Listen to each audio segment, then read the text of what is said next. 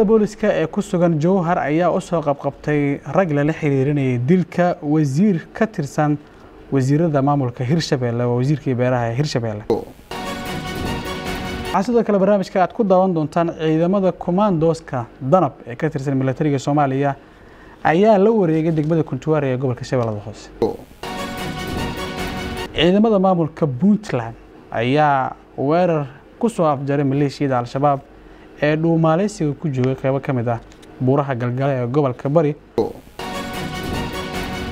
Xubnihii kale ee joogtada ahaa ee barnaamijka ayaad ku daawan doontaan sida mid ka mid ah tiirarka sharta sharwadayaasha al-shabaab.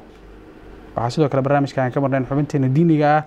oo iyana aan ku eegi doono waxay diinta islaamku ka qabto dhiigga muslimka ah ee in la daadiyo qodobadaas iyo qodobo kale ayaad barnaamijka ku daawan doontaan anoo cabdiqaar ciisaha idinla socodsiinaya barnaamijka cabdicasiis maxamuud guulad africa ayaa idiin soo saaray. Mar kale iyo xogta xagjirka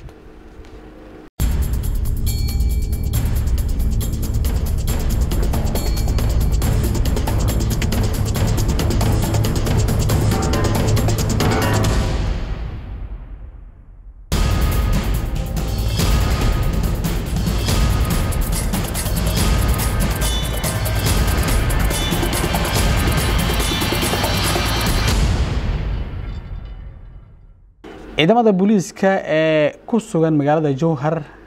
ee xarunta maamul goboleedka hirshabeelle ayaa soo qabqabtay rag lala xiriirinayay inay ka dambeeyeen dilka wasiirkii beeraha ee hirshabeelle abuukar bacadle ayaa warkan noo soo diray. Taliyaha saldhigga degmada jowhar dhame maxamed siyaad cali canjeex ayaa ka warbixiyay howlgalla ciidamada booliska degmada jowhar ay ka sameeyeen gudaha magaalada jowhar kadib markii xalay lagu dilay magaalada wasiirkii beeraha iyo waraabka dowlad goboleedka hirshabeelle ahaana xildhibaan ka tirsan baarlamaanka dowlad goboleedka hirshabeelle cabdulqaadir abukar maxamed oo ku magac dheeraa karaani xalatoola waxaa magaaladan jowhar ka dhacay. Waxaa lagu dilay wasiirkii beeraha ahna xildhibaan ka tirsan dowlad goboleedka hirshabeelle cabdiqaadir maxamed nuuxow oo loo yaqaana cabdiqaadir kanraani marka haddii ay dhibku dhacay annaga ka hay'ad ahaan ka amni ahaan waanu howlgalnay ciidamada booliiska waa howlgaleen waxaanu soo qabanay dadaan soo qabanay insha allah waana baaraynaa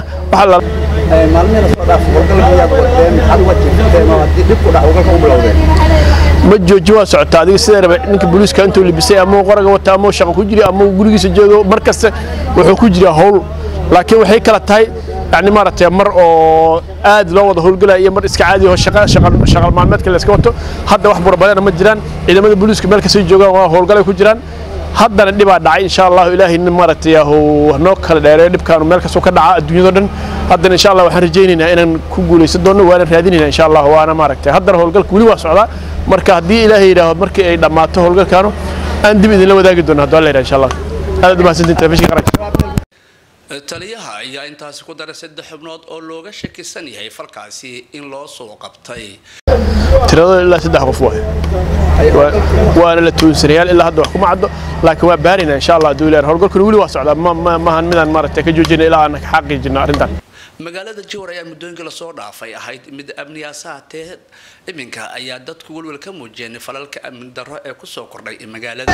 Abubakar maxamed bacadle warbaahinta qaranka caasimada dowlad goboleedka hirshabeelle magaalada jowhar. Ciidamada commandoska danab ayaa la wareegay degmada kuntuwaarey ee gobolka shabeellaha hoose. Ciidamo ka tirsan kuwa danab ee xoogga dalka soomaaliyeed ayaa howlgal waxa ay ka fuliyeen deegaano ka tirsan gobolka shabeellaha hoose. Waxaana saraakiil ciidanka ay noo sheegeen inay la wareegeen degmada kuntuwaarey ee gobolka shabeellaha hoose oo ay gacanta ku hayeen sanado maleeshiyada argagixisada ee al-shabaab. Saraakiil ka tirsan ciidamada dowladda ayaa sheegay in ciidamada ay gacanta ku dhigeen saraakiil ka tirsan waa horjoogayaal ka tirsan ururka al-shabaab. Sidoo kale ay saldhigyada degmada kuntuwaare ay ka sii daayeen dad shacaba oo u xirnaa al-shabaab. Dadka la sii daayo waxaa ka mid ah carruur ay ka mid yihiin shan iyo toban caruura ku dhowaad caruurtaasi oo maleeshiyada habfikirkooda iyo dhaqankooda ay doorinayeen si ay dadka soomaaliyeed ugu gumaadaan ama ay u isticmaalaan ficilada foosha xun oo ay maleeshiyadu geysato. Wararka laga helaya shabeellada hoose waxay sidoo kale sheegayaan ciidamada ay weli howlgallo ka wadaan xaafado kala duwan ee ka tirsan degmada kuntuare iyo deegaanada u dhow. Sidoo kale intii ay ciidamada ku jireen howlgalkan waxaa u suura gashay in beer ka mida beeraha xashiishka ay ku beeraan maleeshiyada al-shabaab ay dab qabadsiiyaan mid ka mid a ficilada qarsoon oo ay soo bandhigeen ciidamada ayayna ahayd in mid ka mid a beeraha ku yaalla gobolka laguna beerayay xashiishka ay milkiyadeeda lahaayeen. Maleeshiyada kuwooda u qaabilsan al-shabaab degmada kuntuwaare sidoo kale ciidamada intii ay howlgalka ku jireen waxaa u suura gashay deegaana xeebta dhiriirsa sida gendarsho oo kale inay ka soo qabteen baabuur waxyaabaha qarxa laga soo buuxiyey oo ciidamada u suura gashay in ay iyana ka hortagaan. Ciidamada ayaa soo bandhigay waxyaabaha ay u isticmaalaan maleeshiyada qaraxyada gobolka qeybo ka mida ay ku qarinayeen oo hadda si nabdoon gacanta ugu jira gacanta ciidamada militariga gaar ahaan kuwa danab wariyayaasha idaacadda ciidamada ayaa sidoo kale soo sheegaya in weli howlgallo baaritaano ah oo lagaga hortegayay khataraha argagixisada ay ciidamada ka wadaan qeybo ka mid a gobolka shabeellaha hoose maxkamadda ciidamada qeybteeda toddobiy labaatanaad ayaa mar kale u fadhiisatay dhegeysiga dacwadda saddex eedeysane oo ku soo gabagabooday magaalada beledweyn ibraahim maxamed geedi ayaa faahfaahinay. Eedeysanaha labaad cabdicasiis xuseen faarax oo loo yaqaano timijilac soddii toddoba jir ah ina sareedo faarax afrax ku dhashay degan beledweyne maxkamadda darajada koowaad ee ciidamada qalabka sida qeybta toddobiyo labaatanaad ayaa u fariisatay wejiga labaad ee eedii loo haystay saddexdan eedeysane oo ku eedeysan dilka allaha u naxariistee. Cayduruus calaawi saciid oo saddexdii bishii sideedaad labada kun iyo labaatanka afduub iyo dil ay ugu geysteen saddexdan eedeysane fadhiga maxkamadda waxaa daafuray gudoomiyaha maxkamadda darajada koowaad ee ciidamada qalabka sida qeybta toddoba-iyo labaatanaad gaashaanle maxamed cabdulle aadan. Eedaas lagugu soo eedeey ee ah in aad dishay marxuum la dhihi jiray cayduruus calaawi saciid. Waxaad kaga jawaabi kartaa inaad dhahdo eedaas liigu soo eedeey waan galay ma gelin dood ayaan ka qabaa inta ay dacwadda socotay waxa ay dood dheer dhex martay. Xafiiska xeer ilaalinta iyo qareenkii difaacayay saddexdan eedeysane baaraha kiiska oo wakiil kaga ah laanta dembi baarista c i d da ayaa sharaxaad ka bixiyey ninka lagu magacaabo xuseen axmed eelaay iyo timajilac waxay isu soo sheegeen walow aan la aqoonin. Marka ay ku soo laabteen goobtii waxa uu ku yidhi iska bax bajaajka qaado timajilac ayaa ku yidhi xuseen axmed eelaay si aan sharci ahayn ama aan ogolaasho ahayn ayuu ku qaatay bijaajkii ninka la yidhaahdo horey abuukaate carab yuusuf nuur ayaa maxkamadda ka codsaday in saddexdan eedeysane loo fiiriyo sifaaraha dembiga fududeeya. Waxaana codsanayaa mudane gudoomiye garsoorayaal in dhammaan eedeysanayaashan qodobka toddobaatan shanaad ee xeerka ciqaabta soomaaliyeed iyo qodobka afartanaad ee xeerka ciqaabta in ayaga loo fiiriyo mudane gudoomiyaal ayna ka dhigi doonaan waxay ku qancaan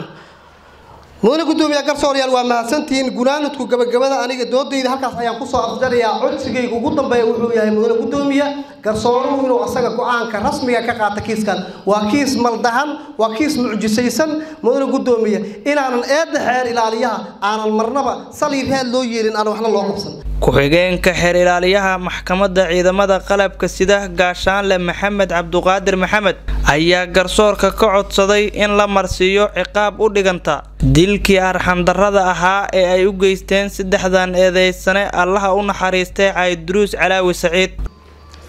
Mudane gudoomiye garsoorayaal maxkamadda sharafta leh gabagabadii dacwada iyo codsigayga ugu dambeeya codsi tixgelin ay ku dheehan tahay naxariisi ay ku dheehan tahay baryo ay ku dheehan tahay ayaa waxaan codsanayaa mudane guddoomiye in timajilac iyo xuseen axmed eelaay iyo liibaan loo qisaaso loo dilo loo toogto fagaaro lagu dilo sababtii ay dilkii u geysteen ceyduruus si kuwa kale oo gaagaayaashaana ay ugu hakadaan dembiga ay galayaan kuwaana ay u helaan cadaalad. Gudoomiyaha maxkamadda darajada koowaad ee ciidamada qalabka sida qeybta toddoba iyo labaatanaad gaashaanle maxamed amiin cabdulle aadan ayaa soo xiray fadhiga maxkamadda. Siga galmaqalkii eedeysanayaasha kale ah xuseen axmed maxamuud oo loo yaqaano xuseen axmed eelaay cabdicasiis xuseen faarax oo loo yaqaano timijilac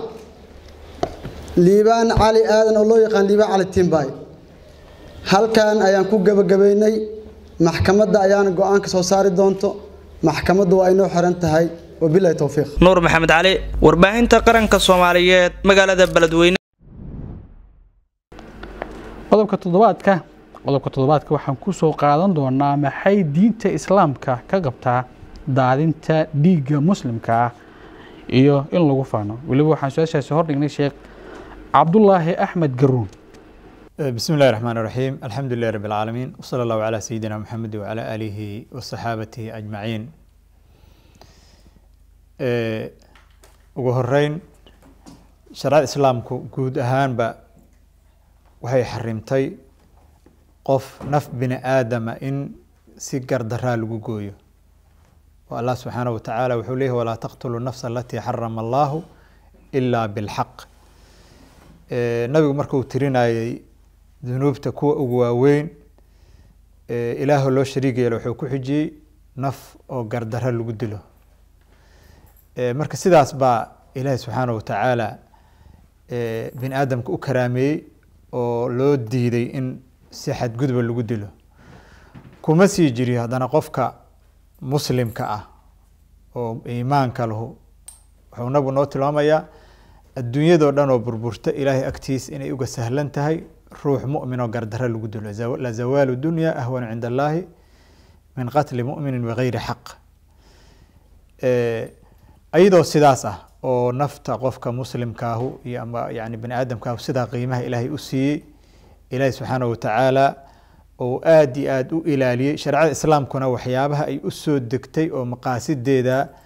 ay ugu waaweyn yihiin xifdu diin xifdu nafsi. Oad aragtay nafsadii yani qofkii qof ku xadgudba yani diloo kale qisaas iyo sidaa marka iyadoo sidaa loo sii adkeeyey ayaa haddana waxaa bulshadu waxay waa sii kale ahmiyad bay sii kale leedahay. Waxaa jira dad indhihii bulshada ah waxaa jira dad masaakiina oo dagaal iyo rabshado iyo waxyaabaha aan shaqo ku lahayn nabigeenu salawatullhi wasalaamu caleyh waktiyada ou xataa dagaalkii dagaal xaqa oo saxa ahay kooxahan waxa ay wadaan waaba wax oo iska fidno wey ayuu wuxuu la dardaarmi jiray saxaabada isagoo dhahaya laa takhunu yani khiyaanaha samaynina iyo waxa la yidhaha khili laa taqulu walaa taqdiru yani dhagar iyo gaadmo iyo qof gurigiis ka fadhiya in laga kor tago qoorta laga gooyo amba halkaa ama masaajid lagu gaado ama goob kale lagu gaayo waxyaabaha samaynina. Haddaad dishaan haddana suurad xumaha samaynina oo qofkii oo inta madaxiisana meel la geeyo jirkiisana meel sidaas kol ha samaynina carruurta ha dilina dadka waayeelka ah oo ayay ka mid tahay dadka yani waayeelka odayaal dhaqameed ama dhaqan ha ku jiriyo ama yow ku jiro qofka waayeelka cirada ha dilina dumarka ha dilina yani xoolaha ha faylagoynina geeloo kale geedihii xataa miraha lahay timirtii oo kale sidaa ha goynina ha gubina beeraha xoolaha hiska gowracina adinkoon yani markaas inaad cuntaan ula jeedina. Adiga waxaad xataa mararka qaar arki doontaan uu yihi dad oo cibaado yani halkaa oo adduunye aan shaqo ku lahayn oo soomacadahooda joogo halkaa ayagana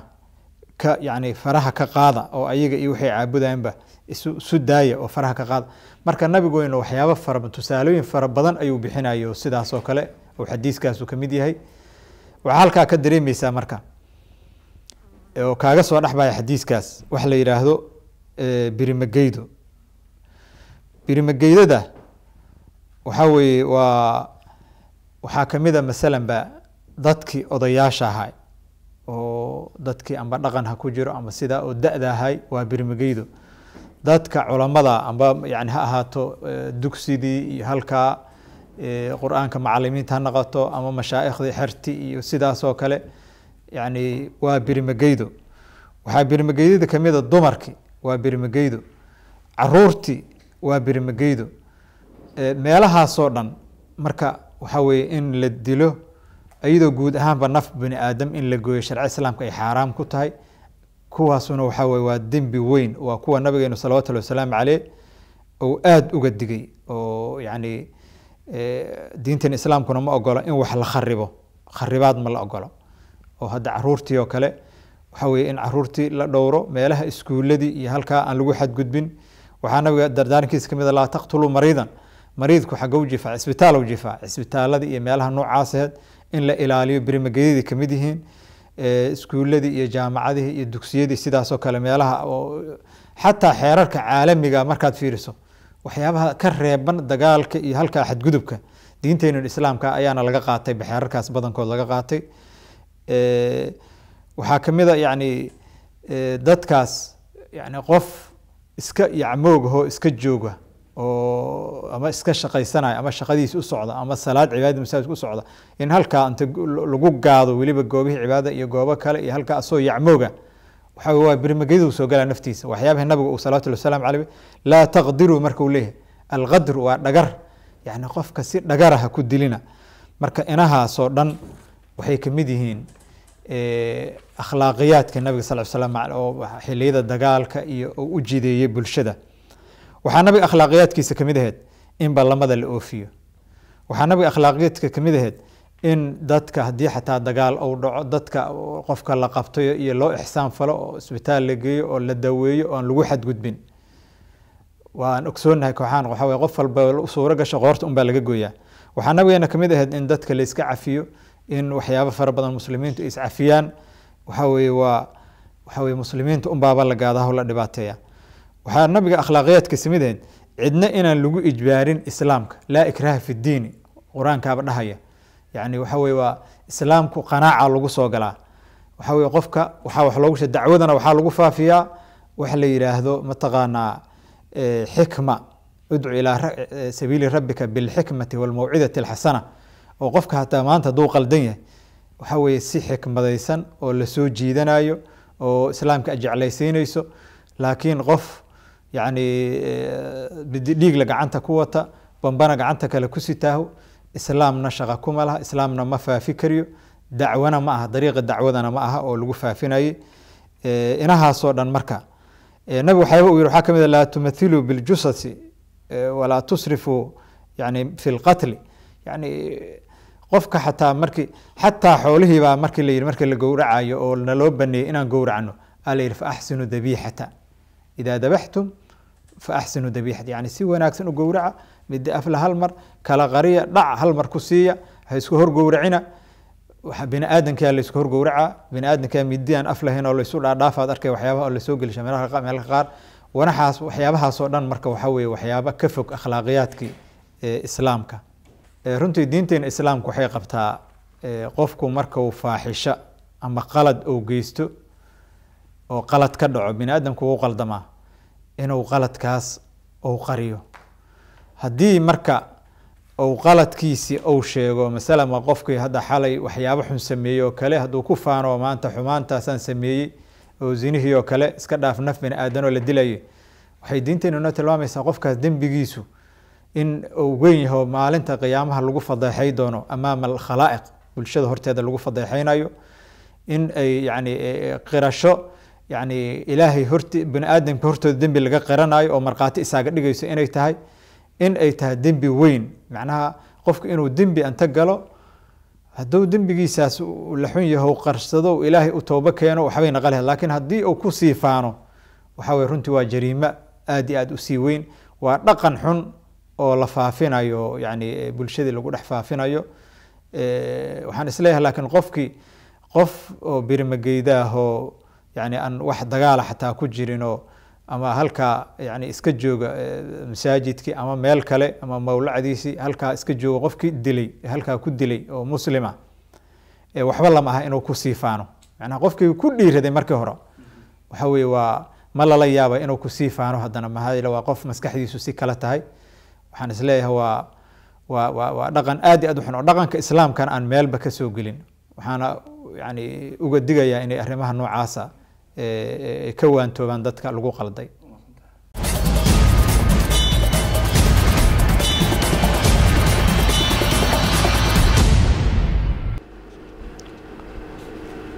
Xubinta tiirarka waxaan toddobaadkan ku eegi doonaa maxaad ka taqaanaa taariikhda madow ee horjooga fasuul cabdalla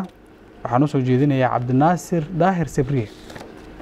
fasuul cabdalla wuxuu ku dhashay jasiiradda kaamulos ee ku taala badweynta hindiya isagoo yar waalidkii waxbarasho waxay ugu direen dalka bakistan isagoo dhakhtarnimo barto balse taabadelkeeda wuxuu isku bedelay xagjir markii ay saameyn ku yeesheen kooxihii kala duwanaa ee ka dagaalamayay bakistan iyo afghanistan. Wuxuu ku fashilmay inuu waxbarashada dhammaysto wuxuuna u goostay inuu ka mid noqdo tiirarka sharta iyo kuwa maleega falalka daadinta dhiigga. Halka waalidiintiisu ay u rabeen inuu noqdo mid dabiiba dadka taana wuxuu ka doorbiday inuu dhiigga muslimka daadiyo fasuul cabdalla wuxuu ka mid ahaa caloosiyu shaqaysayaashii shisheeye ee xilli hore yimi soomaaliya. Bartamihii sagaashankii ayaa isaga iyo caloosiyu shaqaysayaal kale oo shisheeye ah yimaadeen soomaaliya. Tan iyo xilliga waxay maleegayeen dilal iyo hagardaamooyin aad u badan oo dadka soomaaliyeed iyo dalalka dariska ah baa saameyn ku yeeshay fasuul iyo saaxiibadii waxay soomaaliya u yimaadeen inay u rogaan meel gabaadka u ah argagixisada dowladnimo iyo xasiloonina aynan ka jirin. Islamarkaana ay ka abaabulaan falalka argagixiso ay dunida inteeda kale ka geysanayaan. Fasuul wuxuu ahaa maskaxdii ka dambeysay qaraxyadii lala beegsaday safaaradaha maraykanka ku lahaayeen nairobi iyo daarusalaam sannadkii kun sagaal boqol sideed sagaashankii. Falkaasi ka hor iyo kadib wuxuu si joogtaha ugu sugnaa soomaaliya. Fasuul cabdalla wuxuu dalkeena ku soo hogaamiyey caloosheed u shaqaystayaal badan oo alqaacida ka tirsanaa xilliga iskuna tilmaamaya mujaahidiin kuwaasoo ku kacay wax walba ay ku dili karaan shacabka soomaaliyeed kuna wiiqi karaan dowladnimadooda wuxuu dhallinyaro badan oo soomaaliyeed ka mara habaabiyey jidkii saxda ahaa. Wuxuuna baray sida meynooyinka loo rakibo sida baabuurta qaraxyada loogu xiro sida dalalka gaadmadaha loo fuliyo kadibna loo raadgato fasuul wuxuu si dhow ula shaqeeyey aasaasayaashii al-shabaab isagoo matalayay alqaacida wuxuuna uu lahaa maskaxdii lagu laayay dad badan oo soomaaliyeed oo qaran qiimo weyn ugu fadhiyey waxa uu lahaa hal ujeedo oo ahayd soomaaliya inay sii ahaato meel fowdo ah cid walbana u furan ayna ku dhumaalaystaan kuwa sida joogtada dembiyada argagixiso ugu soo gala dunideeda inteeda kale. Inkastoo al-shabaab uu gacansaar xoog lala lahaa haddana waxaa dhex maray khilaaf isaga iyo horjoogihii la dilay ee al-shabaab. Axmed cabdi oo godone khilaafkaasi oo keenay in godone uu laayo xubno badan oo shisheeye ah uuna xaalad godona geliyo fasuul cabdalla oo ah ninka ka hadlino sideedii juun sannadkii laba kun koob iyo toban fasuul cabdalla wuxuu ugu dambeyn ku baxay gacanta ciidamada xoogga dalka soomaaliyeed oo fariisin ku lahaa ikis control afgoy kadib markii ciidamadu xil habeena uu ku soo hagaagay bar control ay ciidamadu fadhiyeen fasuul cabdalla tusaalihii argagixisada bariga afrika. Waxaa la qaalijiyey iyadoo aan cidna ka xumayn dhimashadiisa. Shacabka soomaaliyeed oo balanbalka baday ayaa aad ugu farxay dilkiisa. Al-shabaabkii ay sharta isla maleegi jireenna xitaa kama tacasiyeen geerida fasuul sidaas ayuu ku dambeeyaa masiirka dembiilayaashu sidaas ayayna u dhintaan iyagoo aan cidna ka murgoon geeridooda